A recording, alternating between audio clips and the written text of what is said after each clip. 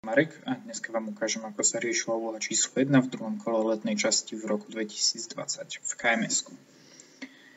Začneme zadaním. Máme šamana a občanov a dediny a šaman chce hrať s, e, s dedinčanmi nasledujúcu hru.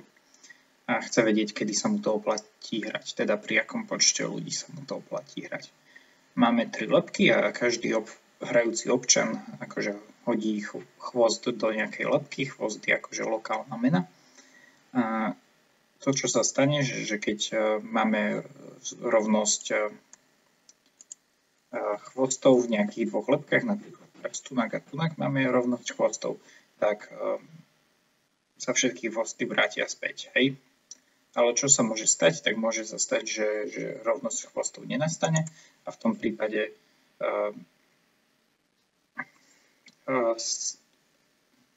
sa prerozdelia chvosty následovne. Tí, čo hodili chvost do, pra, teda do najmenej plnej lepky tí, čo do prostrednej lepky, tak tí stratia svoj chvost v prospech šamana. Tí, čo hodili do najviac naplnenej lepky, tým sa chvost vráti a tí, čo teda hodili do najprázdnejšej, dostanú za každý dva chvosty. Čiže sa to asi niektorým oplatí, tým teda, čo hrajú v, eh, eh, na tie najmenšie lepky, hej, tí niečo dostanú. Takže dedinčania sa môžu napáliť a budú hrať túto hru. A teda šaman chce byť zakerný a chce okradnúť čo najviac eh, dedinčanov, hej, alebo plus minus, tak toto môžeme vnímať. Tak čo môžeme si povedať je, že označme si počet chvostov v jednotlivých lepkách A, B, C. No a môžeme proste povedať, že vezmi na všeobecnosti nech platia nasledujúce nerovnosti. A teda tí, čo hodia do lepky A, tí získajú po dva chvosty, tí, čo hodia do B, stratia, tí, čo hodia do C, tí stratia nič. Hej. A teda, aby sme vizualizovali, tak tí, čo hodili do C, tí majú nulový zisk, tí, čo hodili do B, tí stratili a tí, čo hodili do A, majú teda dokopy plus jeden chvost oproti predošlému stavu. Hej.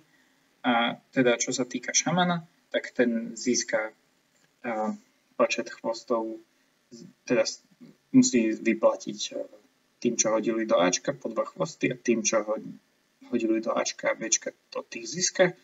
Teda sa pýtame, že kedy sa mu to oplatí hrať. No tak keď si to dáme do rovnosti, tak chceme vlastne zistiť, kedy sa mu oplatí uh, rozdať 2A chvostov a získa A plus B chvostov, lenže sme si povedali na chore, že A je menšie ako B, takže určite musí za tú nerovnosť platiť a teda sa mu to oplatí hrať vždy.